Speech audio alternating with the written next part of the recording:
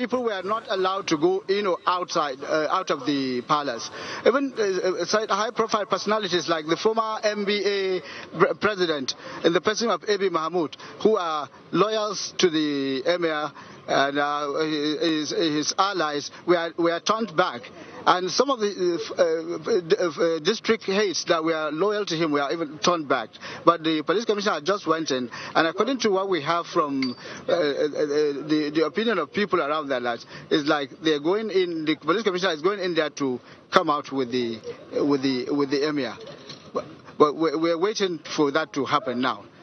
They said earlier on the person was like uh, being, uh, the, the, the, palace was sealed and the emir is like being under a security siege. But now the, the siege is about being lifted and the police commissioner is right in there and the, we're waiting to see if he come out with the uh, Emir Muhammad Sanusi II.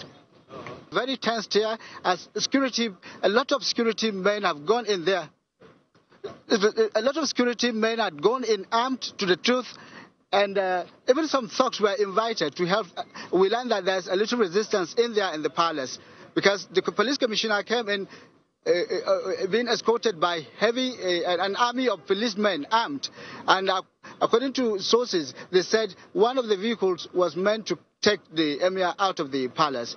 And uh, uh, now report us said that he has been bundled out through the back door because there is a heavy, uh, a, a, very big crowd gathered at the front waiting for uh, the police commissioner and his team to come out. But we learned that he has been taken out of the palace through the back door.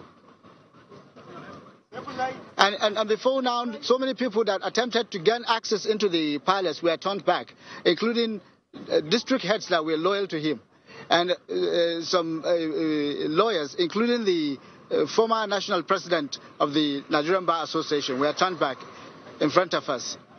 And even journalists were not allowed to witness what is going on inside. We are only allowed to come this far. But the town now is very tensed. People, if you move around, people are seen in in groups discussing what is happening. And if, when the police commissioner and his team were coming in, some youth were shouting at them that we don't want, we don't want. And I was one of the privileged ones that were uh, gained access earlier on, but was pushed out.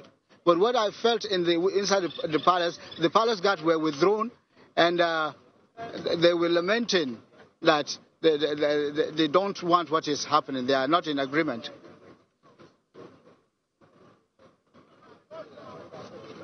So we'll keep you posted on what is going on uh, as the drama unfolds.